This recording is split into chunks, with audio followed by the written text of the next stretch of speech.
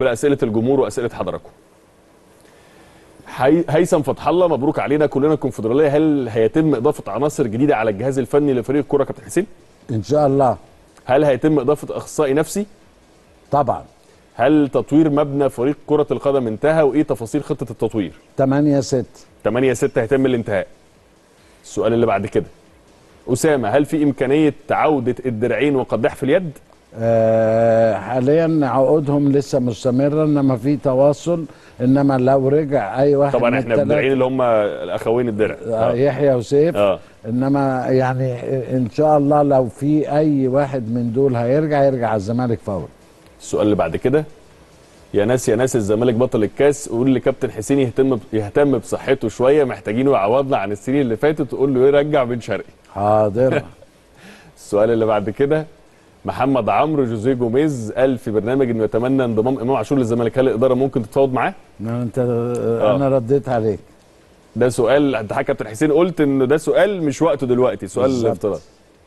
هم وليد همسة حائرة لماذا لا يستعين النادي بمدير فني أجنبي لقطاع الناشئين يضع الخطط ويراقب تنفيذها مثلا تكيس جونياس؟ بعمل له كده. آه. هيحصل؟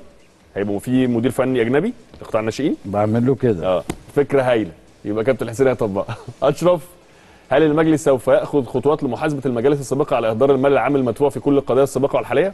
أي حاجة محتاجة تروح النيابة بنوديها النيابة أي حاجة محتاجة تروح لأي جهة رقابية سواء وزارة الشباب والرياضة أو الجهاز المركزي إحنا شغالين في دي تمام بما يمليه علينا ضميرنا ويحافظ. على حقوق الزمالك. ويحافظ على حقوق الزمالك ال- ومن أول يوم محمد جمال إمتى هنشوف في الزمالك لجنة تخطيط مدير للتعاقدات شركة آه، شركة للكورة وعايز أوجه الشكر لمجلس الاداره كابتن حسين على مجهودهم طوال الفترة اللي فاتت. طيب شركة للكورة دي آه، يعني شغالين عليها بس دي بتاخد وقت يعني في time frame محطوط في time frame إنها تطلع before end of this لا. لا السنة الجاية؟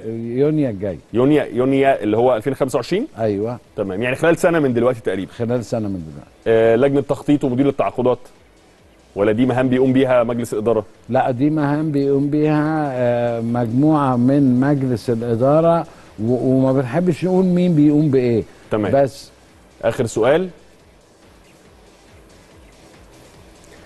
بليغ محمد اقتراح لماذا لا يتم عمل application لنادي باشتراك سنوي بسيط ويمكن ويمكن التنسيق مع الشركة الراعية لبث المباريات والتدريب الخاص باللعيبة وقناة الزمالك على application واحد. شغالين عليها وعشان كده موجود معانا على رأس المنظومة الإعلامية الأستاذ عمرو خفاجي وهو يعني أشهر من نار على العالم في هذا المجال وفي كل المجال الإعلامي. شغالين عليها كويس جدا. بس يا جماعة إحنا مش ملاحقين والله. كل الملفات اللي مفتوحة دي زي ما أنا قلت. عندنا حاجة بالعرض كلنا بنشتغل عليها بن- بنشتغل. تمام. بس في نفس الوقت عندنا خط مستقيم حاطينه تارجت أو هدف قدامنا شغالين عليه. قبل ما نروح